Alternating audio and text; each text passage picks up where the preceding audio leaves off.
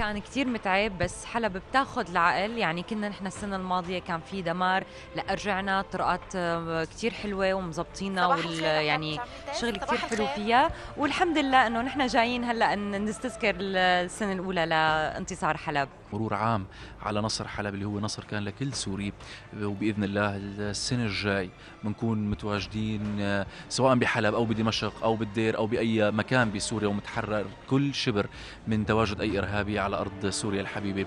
آه، تحضيرات آه، كثير كبيرة يعني حدث بهالضخامة هذا بمكانة حلب بأهمية حلب بقلب كل سوري. حلب فعلا هي مدينة ما بتموت. اليوم اللي عم بيشوف مدينة حلب بعد سنة واحدة بس من التحرير رح يتفاجئ عودة كبيرة للشباب الحلبي لمدينة حلب وللصناعيين بشكل آه، مباشر. عم نشهد عودة حتى للمصانع والمعامل.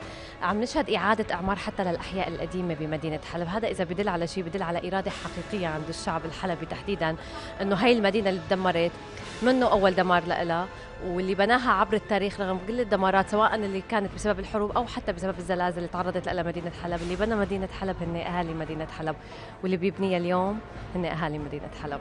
هلا آه، بصراحة لأول مرة بجي على آه، حلب. يمكن كانت الصورة مختلفة شوي. يمكن خلال السنين الماضية وقتها كنا نسمع ونشوف بالأخبار. بيتصور لك أو بيتبادر لذهنك إنه كيف الطريق رح يكون أو شو مشاهد الدمار أو أو في شوية قلق. بس فعلا أنا على الطريق كان في شيء مختلف تماما. كان في آه، فعلا اطمئنان في راحة تامة. يعني كنت قاعدة وعم شوف المناظر ما بين صحراء وما بين بداية آه، مدينة حلب.